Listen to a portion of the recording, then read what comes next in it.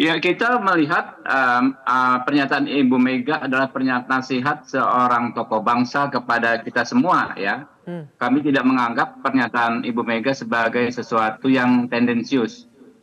Karena faktanya saat ini masyarakat, publik, media baik nasional maupun internasional banyak menyoroti berbagai pelanggaran yang kemudian bahkan sudah dinyatakan oleh KPU sebagai sesuatu yang melanggar antara lain fakta integritas uh, eh, PJ Bupati Sorong ya di mana di situ di apa uh, eh, PJ Bupati itu diminta untuk memenangkan salah satu pasangan calon ya.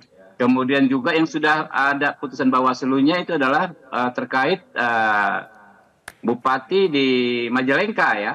Uh, karena Sobahi ya uh, yang memang disebutkan ya menyampaikan narasi mengarahkan dukungan kepada caleg-caleg uh, tertentu dan uh, pasangan pilpres uh, tertentu. Lalu ada juga uh, video kepala daerah ya dari uh, partai tertentu yang menyatakan dukungan kepada capres tertentu. Itu sudah ada kekuatan hukumnya itu putusan Bawaslu. Artinya apakah ini yang menjadi salah satu referensi Ibu Mega bahwa ketika kita berkuasa jangan gunakan kekuasaan itu untuk uh, melakukan sesuatu yang tidak terpuji ya